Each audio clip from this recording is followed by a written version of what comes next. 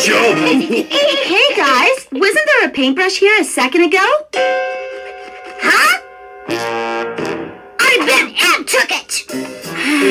have I ever mentioned you have impeccable timing, Eddy? Here we go. You stole my paintbrush, Ed! Give it back! Paintbrush? Ed didn't take your stupid paintbrush, Sherlock. Things are picking up. Boy, Frank, why would Ed want to steal a paintbrush?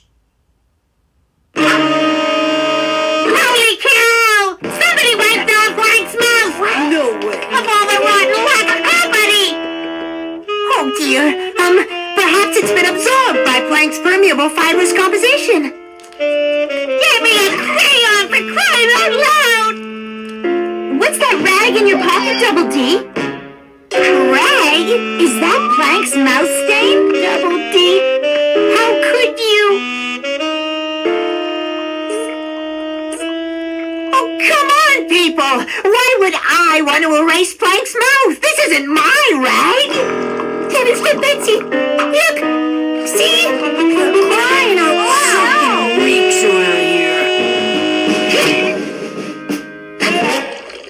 What?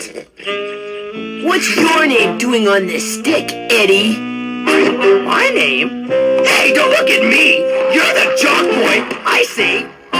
You did it. I really must protest. Your accusations are purely based on conjecture. Why, we would never zip that mouth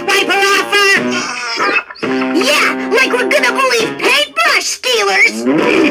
Or hockey stick throwers? You guys should be ashamed of yourselves blaming Kevin. That's so immature, dudes. Credence? Yeah, what he said. What can I tell you? Thanks for dorking up an otherwise dull day.